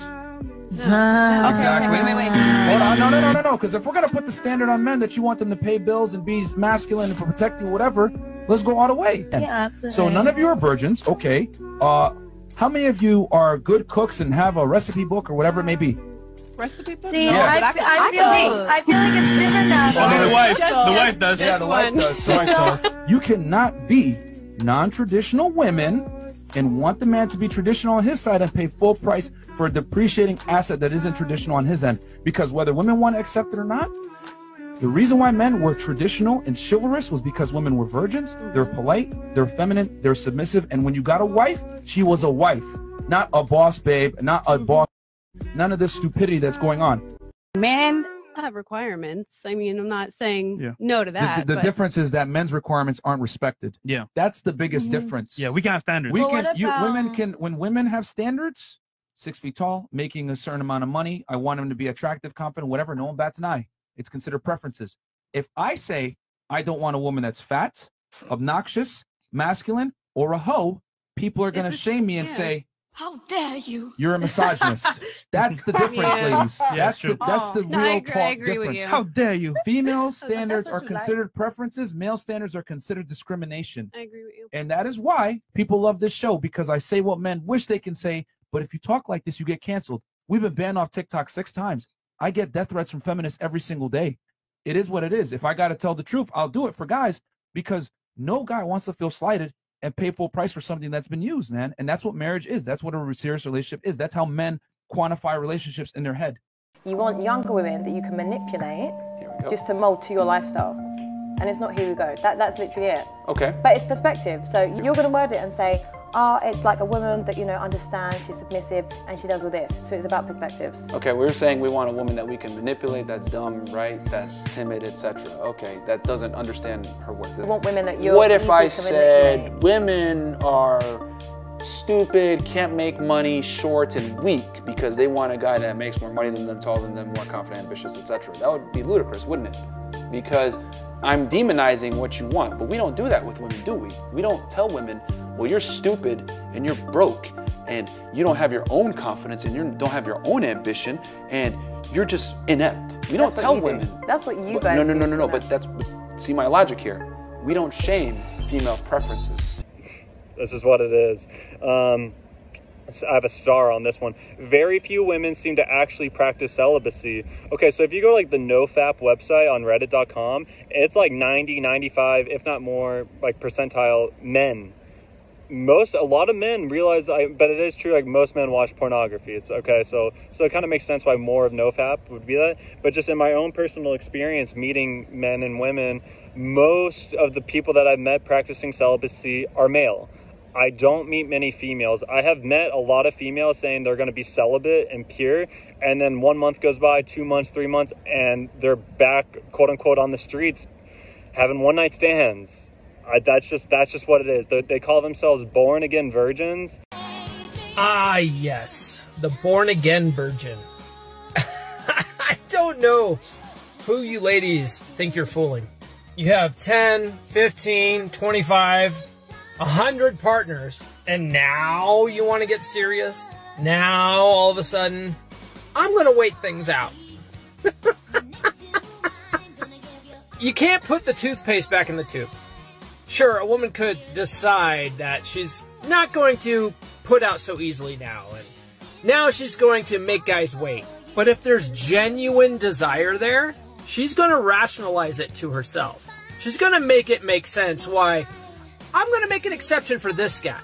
If she's not trying to rationalize it, if she's not doing mental gymnastics, it's because he's just not the right guy. And that's okay.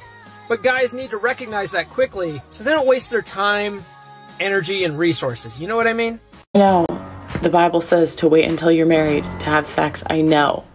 But what I'm looking at is outcomes. And when I go into churches, I see a lot of single people and I don't see a lot of families. And in the Bible, it said to be fruitful, be fruitful and multiply. It's always the bitch who got ran through. I'm sorry. It's it's never the guy.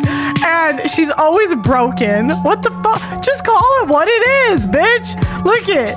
You you met Mr. Tall, Dark, and Handsome. Like you were feeling him. That's like you're human. It's okay. But so then the church is like on top of this. Let's give her a platform to talk to other women and market being a hoe. Get the hoes out of the church. They don't belong here. Where's the craziest place you've had?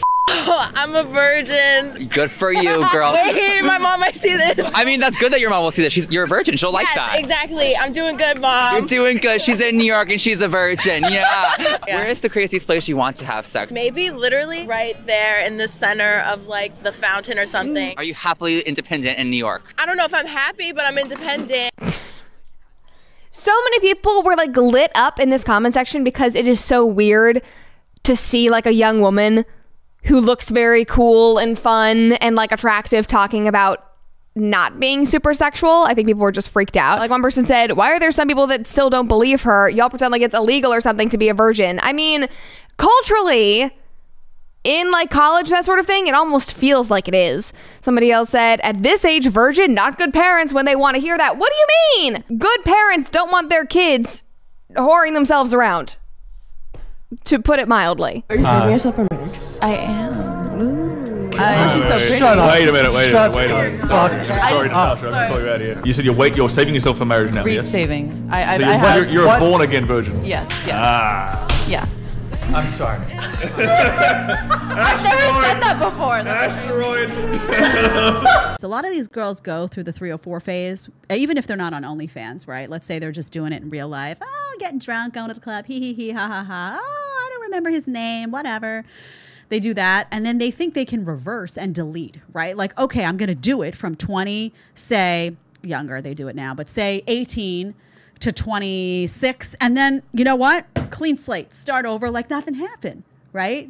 Born again virgin, yay! I can get my innocence back. You can't get your innocence back. and then like three months down the road, six months down the road, a year later, they're not born again virgins anymore. Like this whole born again virgin thing is a joke, especially when you call yourself born again virgin and then you go off and you start sleeping around again, and it's like delusional. You're not born again virgin. A, I don't, I don't have, I don't like this whole born again virgin thing. I don't buy it. You're a virgin once, and then it's gone. Like it's gone. And um, this idea that you're born again virgin, no. You can seek the forgiveness of Jesus Christ and and, and have real physical, mental, emotional, spiritual healing because Jesus Christ is the master healer of everything. Yes, that's real. Can he make you a virgin again? No. Jesus Christ, I don't think he can make you a virgin again. That's something that we have to use our own free will, and once it's gone, it's gone. Um, and so I think we got to drop this whole born again virgin thing, just because it's just it's just nah. I don't buy it. I just nah. It's just like own up to it. Made mistakes in the past. Not a virgin. Um, better luck next reincarnation. Um, this is a truth channel. If you don't like it, leave. Okay. Uh, and, and don't forget to unsubscribe, unfollow, and smash the thumbs down button. Okay. Uh, so if you don't like this message from White Magik Tiger, I would like you to unsubscribe, unclick the notification bell, and smash the thumbs down button. Smash it, smash it, because this is a truth channel. I only want brothers and sisters who love the truth, the whole truth, and nothing but the truth. And what's the truth? Truth is God. God's the truth. And who is the best role model for women? Who is the best role model for women? Who do y'all think? Boom. Mother Mary, dude. Mother Mary is the best role model for women and for men too. Is the virgin of virgins and she is the Theotokos. Theo means theology, th- like Theos, God. Tokos means bearer, carrier. The Theotokos, Mother Mary, is the carrier of God, the bearer of God. She's so pure and holy that God decided, yo, I'm going to incarnate myself inside your womb. That's Mother Mary, and that's something that all women should strive to role model. All these ridiculous role models and not even use the word role models these false idols in hollywood and the music industry the movie industry uh, whatever it is they are horrible horrible role models. Most of them is false idolatry. Um, an excellent role model are the saints the yogis of india the yogis of europe the yogis of africa the yogis of north and south america the saints. These are excellent role models. Mother mary probably the best of best role models for women and for men too. And and, and, and I've been a lot of the time because I keep my handy dandy rosary right here in this baggie. Um, I, I, I blessed it in the Ganges today. I put it in the water and I said a little prayer over it. And my friend suggested it. It was actually pretty wild. I met her in 2019 in Guatemala in San Marcos, and then I bumped into her at a restaurant uh, here. I actually bumped into her in Dharamkot, Dharmasala, at another restaurant, and then I bumped into her again here in Rishikesh. And um, uh, anyway, she suggested it's kind of crazy. She was saying like her mother's like super devout Catholic and like says the rosary all the time. And and I'm not I'm not like crazy Catholic anything, but I am like a seventh generation Catholic. I know it's like it goes back like five six generations, but I want to be that, that's like documented. I'm pretty sure it goes back farther, but it's like so. I think I'm like at least seven generations Catholic, but I'm actually working on converting to Orthodoxy right now because I realized well, Orthodoxy is actually older than Catholicism, and it's like all the cool parts of Catholicism, but without all like the pedophilia and without the Pope and like everything that's messed up with Catholicism, like you know like all the dem- demonic satanic stuff. Orthodoxy is like a lot more pure, um, but I still dig the, the, the rosary. The rosary is amazing. And then the, the I, on this, the Jesus prayer, Lord Jesus Christ, Son of God, have mercy on me, a sinner. Amen. That that comes from the Orthodox Church. Uh, this Hail Mary, Sophia, full of grace, the Lord Christ is with thee. Blessed art thou amongst women, and blessed is the fruit of thy womb, Jesus. Holy Spirit, Mother of God, pray for us sinners now at the hour of our death. Amen. This is I dig this too, yo. Uh, and so uh, I hope y'all found this video inspirational. I genuinely like. I don't want to like come off as a dick and like. It's like I know it's supposed to be like an apology video, and um, for if I offended any of like these men and women that are really working on their sexual purity, amazing, absolutely amazing. Keep going. I, I'm mainly grilling the people that aren't.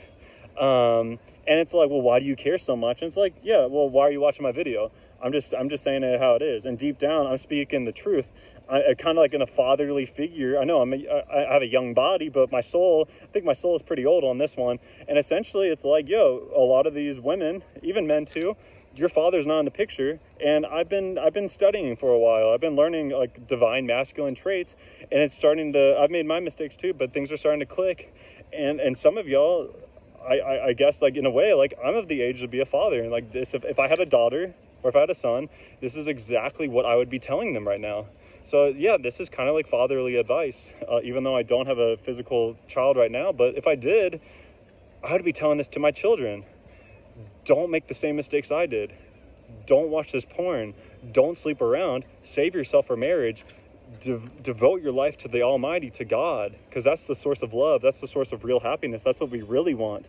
We want the love of God.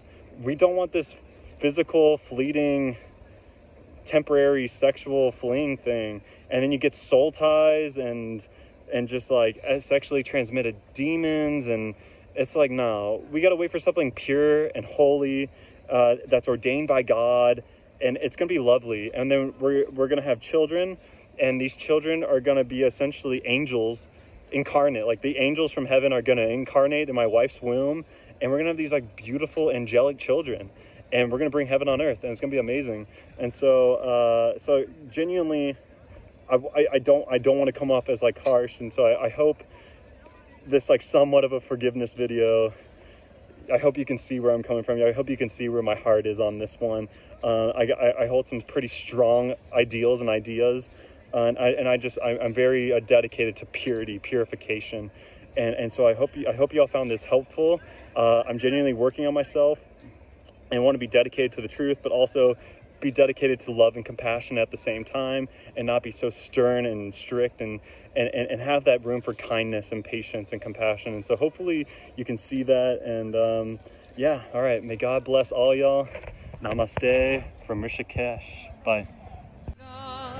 Krishna Christ Guru. God Krishna Christ Guru. God Krishna Christ Guru. God